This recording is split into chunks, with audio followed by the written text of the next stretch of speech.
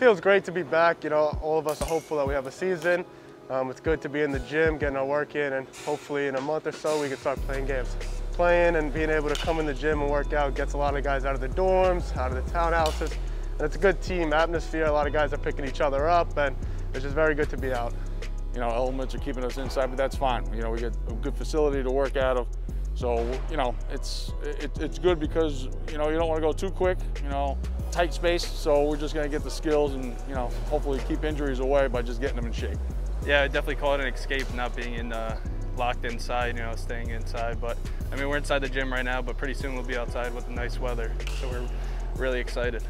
I think, uh, I know coach stressed it a lot for us to buy in, you know, really social distance, make sure we're wearing our masks, keep six feet apart. And I think if everyone does their job, then I think we should be able to have a season and have a great year.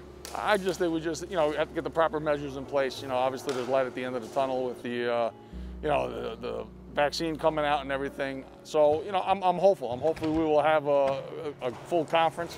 And uh, if we can get non-conference games in, great. But uh, it's, it's always good to see a familiar face. And, uh, you know, I haven't seen these guys in two and a half months. So it, it's good to see them. It's good to see a smile on their, well, I see the grin. I don't see the, the teeth, but, um, you know, I, I, know they're smiling inside and they're, they're happy to be uh, about one another.